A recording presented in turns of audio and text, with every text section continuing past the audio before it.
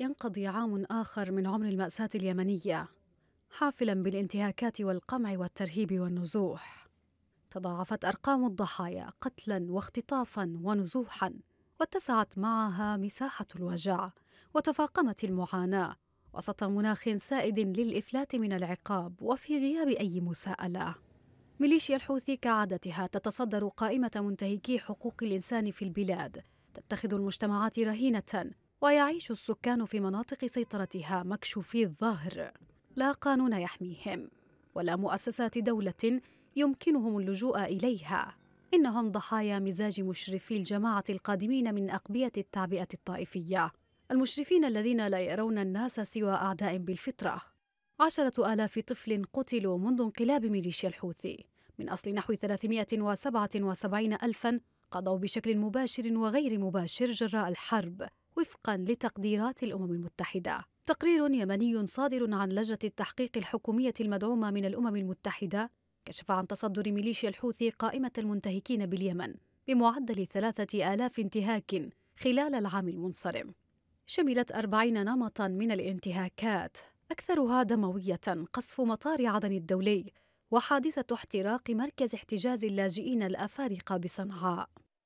ووفق التقرير فإن 3624 واقعة انتهاك أسفرت عن سقوط 4642 ضحية بينها 849 قتيلا و1386 جريحا. زرعت ميليشيا الحوثي خلال العام المنصرم 130 لغما فرديا على الأقل.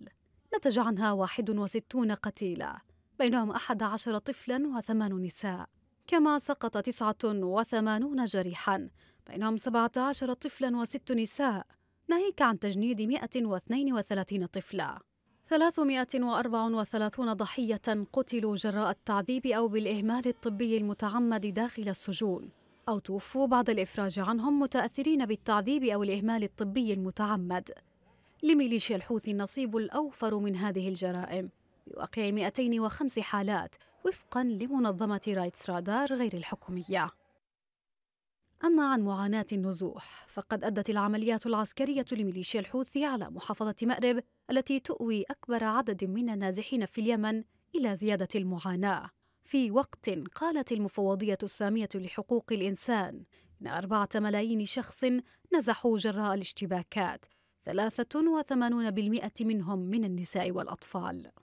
استهداف المدنيين والمنشآت المدنية. فضلا عن الضربات العشوائية من قبل مختلف الفاعلين هو انتهاك صارخ للقانون الإنساني الدولي ويجب أن يتوقف على الفور.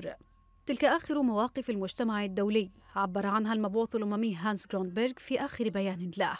وفي حين يتوعد المسؤول الأممي بأن انتهاكات القانون الإنساني الدولي وقوانين حقوق الإنسان في اليمن لا يمكن أن تمر دون مساءلة يبرز السؤال الأهم كيف يمكن تحقيق المساءلة؟